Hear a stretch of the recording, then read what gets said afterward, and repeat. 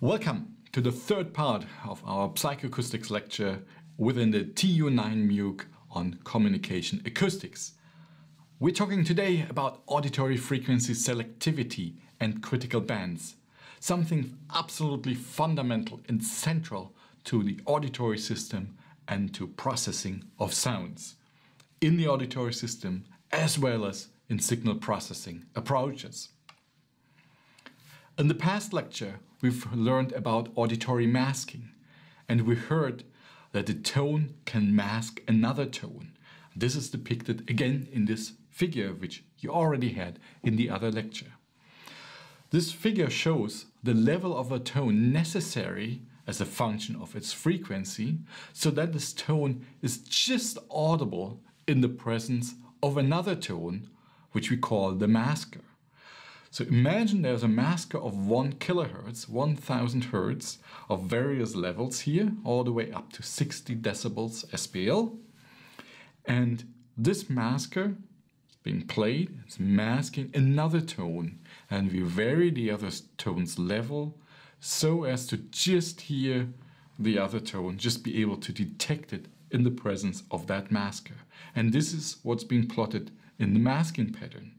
And you already see that masking is most strongly near the masker tone's frequency and masking decays to lower and higher frequencies. It decays much less, which we call, the upward spread of masking towards higher frequencies if the masker level is high, uh, but it uh, decays more strongly at low frequencies. We can now run this masking experiment and plot the data in a slightly different way. In this modification of the experiment, we keep the probe tone level fixed. So say we have a probe of 1 kilohertz and a fixed level, which is somewhere around here.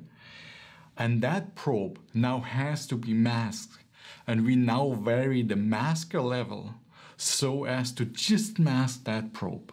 And this is what's being plotted in the psychoacoustic tuning curve, which follows the idea of a physiological tuning curve. Now in the psychoacoustic tuning curve, it's exactly that masker level that's necessary to mask the probe of a certain level. And you see that this masker level increases the further away the masker is in frequency from the probe. So see here for a masker of about 500 Hertz, a masker has to be 80 decibels to mask the probe at 1 kilohertz.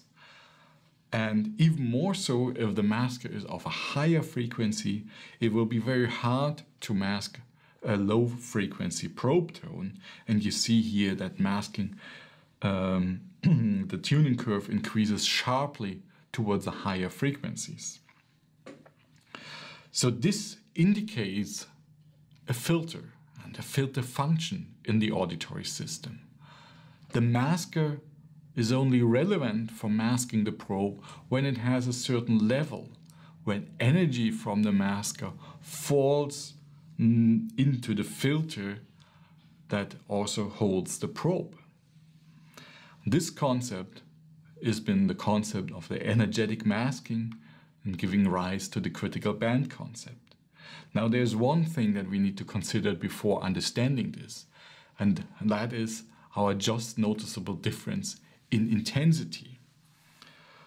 There is a certain threshold for us for detecting a change in intensity, and this is being depicted in this graph. So imagine an experiment where we change the intensity of a tone and we just ask somebody to hear whether the intensity changed or not between two successive tones, whether there is a difference between them or not. And we then vary the level difference between the tones as a function of their overall level to just detect that difference. And we call this the just noticeable difference in intensity. Given here as a function of the sensation level of the tone. The sensation level is not the level in dB SPL, but something very closely. It's just the level relative to the threshold of hearing. So with 10 decibels sensation level, you'll be exactly 10 dB above the threshold of hearing. So if you're just just above the threshold, then your sensitivity to level differences is still a bit poor, and the, uh, the tone has to be changed by about two decibels to just notice that there's been a change in intensity. But in the main region of levels that we usually consider from 30 to 70, 80 decibels, our sensitivity is about 1 decibel. So a change of 1 dB in intensity is just detectable. Changes below that we cannot hear, we cannot detect. And this gives the idea that masking at the output of an auditory filter will also be produced by a change in the probe's energy at the output of the filter that has to overcome this 1 dB threshold. And this gives rise now to the critical band concept. Now consider the auditory system to be composed of a bank of filters. And the auditory system looks at the output of the filters for changes in intensity or energy to make a decision whether a probe tone was heard or not. So our signal, the noise and the tone or any sound comes into the auditory system is being filtered. At the output of the filter, we detect the energy. So the filter is being depicted in this graph with green uh, dashed lines. Now, the tone is within that filter. The filter is always considered to be optimally placed for detecting the tone. Now, if we now play a masking noise that will mask that tone, then the auditory system can detect the presence of the tone only by an energetic change at the output of the filter that overcomes the energy of the noise. And we already heard that needs to be some one decibel increase at the output of the filter to just detect that there's been the tone present. We can now plot results, measure results of exactly that experiment. We can now take a noise that we increase in bandwidth. And if the noise has constant spectral density, so constant energy per hertz, then we will increase the energy of the noise overall. Now, with the increasing energy of the noise, with increasing bandwidth, we also need to turn up the energy of the tone to just detect it. And this is what you see in this graph here. The level of the tone relative to the spectrum level of the noise as a function of the noise's bandwidth. Now, if we raise the bandwidth of the noise, we have to also raise the tone. And you see this is a nice linear increase up to a certain bandwidth. And if you increase the bandwidth of the noise further, then the energy outside that filter does not contribute anymore to the masking of the tone. And this is the critical band. This is the idea of the critical band filter. And you see this here very nicely in the measured data for detecting the tone in noise. This is so-called band widening experiment. And you can also see here clearly in this corner point, that's what we would estimate with this experiment as the critical bandwidth. Now, just in short, energy that does not fall in the filter, that's been filtered out, will not contribute to masking the tone in that filter, and hence it's not relevant for it. And you see this clearly here, you don't need to increase the tones level further, even though the overall energy will increase further. Now, that's the critical band concept. And we can use this to estimate the critical bandwidth, but there are other experiments that are more widely used. Again, masking experiment, and the most widely used one is the noise experiment. So we turn the energy detection around. We have a tone that's of a fixed level, fixed frequency, and we have two flanking noises. And those noises are put together in frequency or further apart. And when they're further apart, the noise energy will not fall within the uh, filter uh, in which the probe tone is. So the probe tone can be detected easily. If the noise energy gets into the filter, so the noises are, uh, noise separation is small, then of course we have to raise the tones level to just detect it. And this is what's plotted here in this experiment. So on the left side of the graph, the, no graph, the noise separation is narrow and we have to turn up the level of the tone to just detect it. And towards the right side, the separation gets further and further and the tones level can be reduced. If we now fit two graphs to it, and you see this here in the dashed lines, then we see there is a corner point and that corner point can be used as an estimate for the critical bandwidth. For this notched noise experiment, I also brought you a demonstration.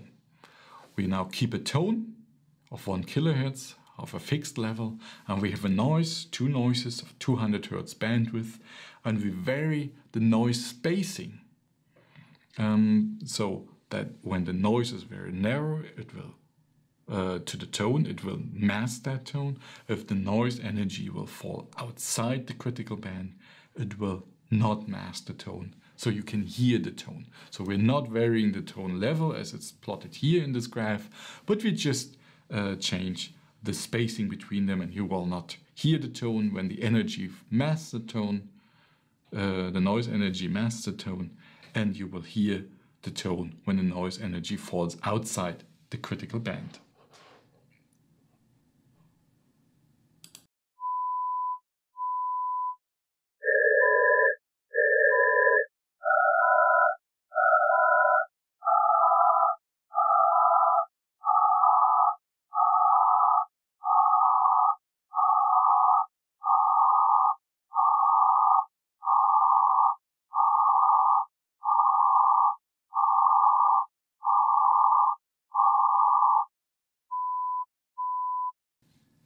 We have all the ingredients and all the ways to measure the critical bandwidth. Let's first look at the critical bandwidth as defined by Zwicker, the Bark scale.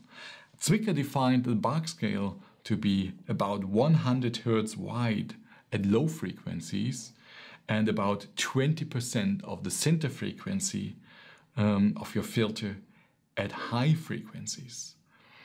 Um, high means here above 500 Hz.